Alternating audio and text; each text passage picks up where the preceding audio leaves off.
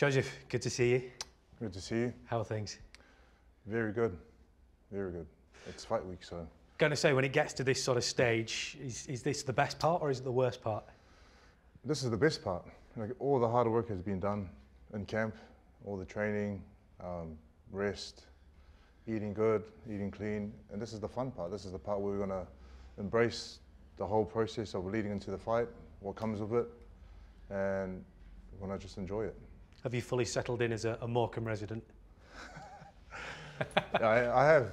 You know, Morecambe's a good place. You know, there was a, you know, we had a great camp there. Many reasons why, but it was good. It was a good place. Um, obviously, in terms of the camp itself, it's been a little bit different, I guess, to a lot that you've had previously. How much have you enjoyed it? What are the major differences? Um, you know, I've only had two camps with Andy. This is the, you know, the first one was a short camp, and it was we started off in Ireland and we finished off in Morecambe. Had the fight here in Manchester. This is the second camp where we've had longer time to train together. And the difference with this camp and other camps I've been involved in, just the environment and also training alongside other, you know, good fighters, good athletes, and just, you know, the, I think the most important thing is the environment and the people around. You know, you have Andy's lead coach and you had Tyson Fury, you have you know, David Nyika from New Zealand. There's, there's a big group of fighters just working hard, putting in work every single day, pushing each other, and you can't, you can't beat it. When you've got somebody like Tyson Fury, WBC heavyweight world champion in the camp, and you can see the things that he does now, he does them, and he's pushing you on as well. That, that surely can only be a huge benefit to you, can't it? It's a huge benefit to myself and everyone else that was in the camp. And I think that's probably the main reason why we're in Morecambe is um, the access that we have to Tyson. You know, he's a big sort of just you know person to be around in camp is, is the best. You know, so he's he's there to support and you know help where he can. Um, but he most of the time he leaves us to do what we need to do. What's it like in terms of working with Andy now for a full camp? You mentioned that last time it was only a couple of weeks. How much more benefit do you think you've got from, from having the full time with him this time? I think the longer time has been the best with training with Andy. You know, the first camp was just to get to know him as a person, meet him, and then start training, and we had a short time. But this longer camp, I'm able to, I'm able to practice more what he's trying to teach me. I'm able to understand it more. I'm able, I'm able to apply it in sparring and training, and I can see a massive difference from the first camp we had to this camp now. And I'm going into this fight happy, confident, um, excited. I'm just, I just want to get in there and show what I can do. And in terms of what you can do, I mean, without trying to give the game away, what sort of areas have you been working on specifically to, to try and improve? We've been working on all areas. You know, defense, offense, footwork, movement, um, combinations, just everything. Staying focused for the whole fight, you know. And I'm, yeah, I'm just excited.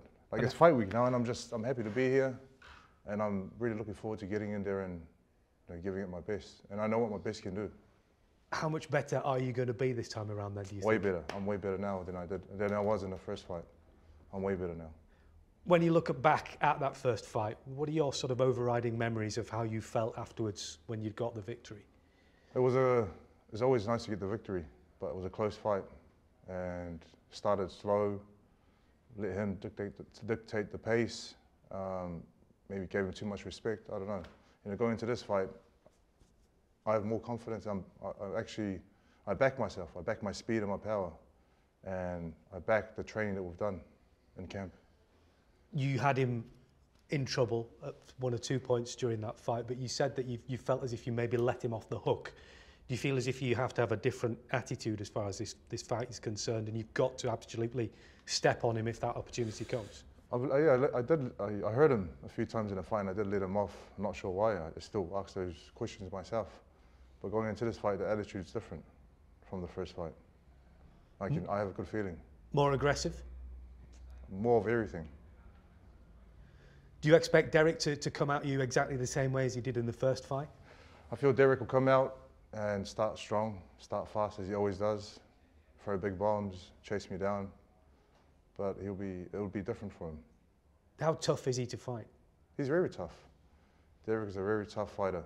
He's been around for a long time, a lot of experience, got a good team behind him, but I have a better team.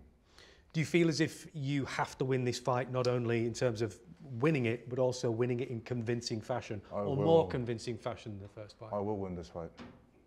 Better than the first fight. I will win. Because you've still got ambitions about another world title in the not too distant future. It'd be nice. You know, it'd be nice to fight for world title in, in the future, but I'm going to take it fight by fight um, and be present and make the most of this opportunity now. Because you also need to try and make sure that you, you make a statement to the guys who are out there with the belts at the moment.